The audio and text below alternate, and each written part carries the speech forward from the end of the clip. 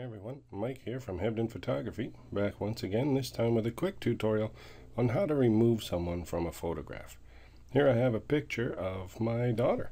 There she is, number five, about to try and pass by uh, her opponent to her teammate here, and we have a coach in the way. I feel like, even though this isn't a killer photo, it certainly would be a lot better without uh, the coach in the way. So I thought we'd try and remove her. First thing we'll do is duplicate the layer, the background layer. You can do that a number of ways. You can hold Control J or Command J on a Mac, or you can just grab this layer and drag it down to the Add Layer button, and uh, you'll get a copy of the layer.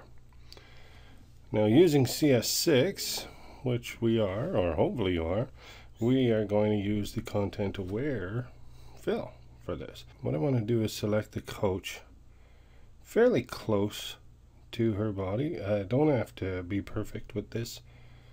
I want to get all of her though. But I'd like to leave as much of the surrounding area as I can to sample from. So what Photoshop does is goes around the surrounding area and tries to figure out what you want in here based on what's close by and sometimes it's really good. In this particular case, because we've got a person that isn't mixed in with other people, she's not overlapping other people, and have a really nice solid or textured background, I think we'll get some fairly decent results. Up here to edit, down to fill,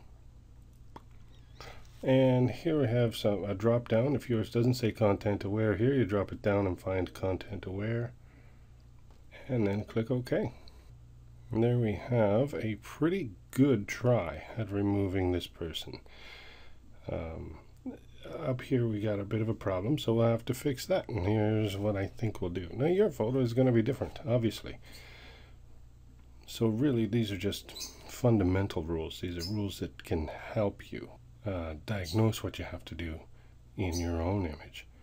For mine, I think what I'm going to do is I've grabbed my uh, marquee tool, my rectangular marquee tool, and I'm going to sample this wall over here.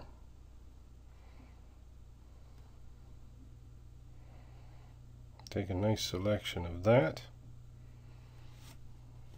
and I'll hit Control J, Command J on a Mac, and I've created a new layer which just has, if we look at only that layer, it just has the bit of wall on it that we selected. I can grab my move tool and move this wall and put it in line with where we had it. Now obviously this isn't perfect either. We can see here we're cutting into a shadow and it doesn't line up as far as the tone and I've blocked off some door here. What I'll do is I'll go over to my add layer mask icon which is uh, right here. If I hold the alt key option on a Mac and click that it'll add a black mask which blocks out all of the changes we did. And I'll go over to my brush here.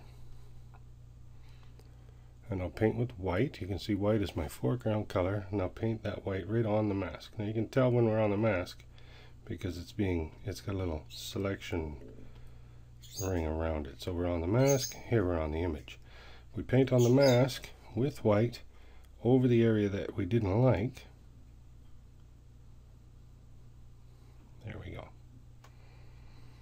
So now if you look, if we just show this layer now, you can see that really we've only got that tiny bit of wall now, and the rest of it's masked up.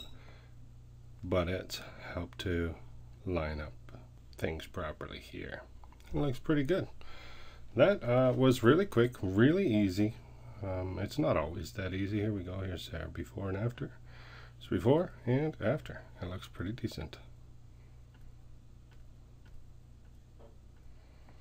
Obviously, they're not all going to be this easy. There's a lot of different ways. If you have a photo that you're having trouble with, I'd be happy to use it in a tutorial.